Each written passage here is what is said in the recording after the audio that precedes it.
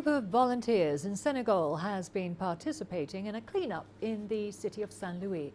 Armed with gloves and garbage bags, they've been picking up litter in the UNESCO World Heritage City. Let's now take a look.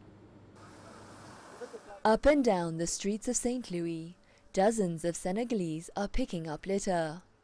These residents are trying to beautify and improve the health and hygiene standards of their city.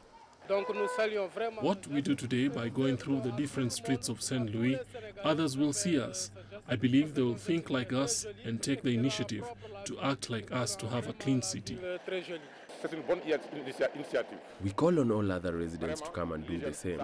If everyone does the same thing, we can certainly overcome the litter problem and make our city beautiful.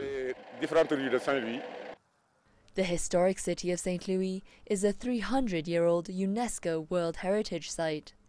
It was founded as a French colonial settlement in the 17th century. But potential tourist hotspots remain untapped. Unfortunately, in St. Louis, the riverside is not exploited. There is trash everywhere. We should build here, install public benches so that people can come and get some fresh air, relax with their families and children. But instead, people come here to use it as a toilet.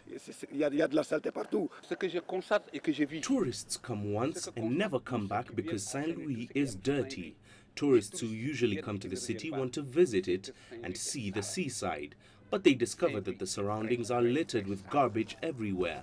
This garbage comes from our homes, streets and neighborhoods, so the responsibility is collective and the solution should also be collective.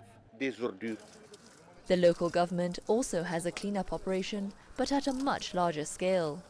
It's targeting waste dumped at riverbanks and beaches throughout the city. For the past three weeks, we have been cleaning up the banks of the Saint Louis with a neighborhood by neighborhood program.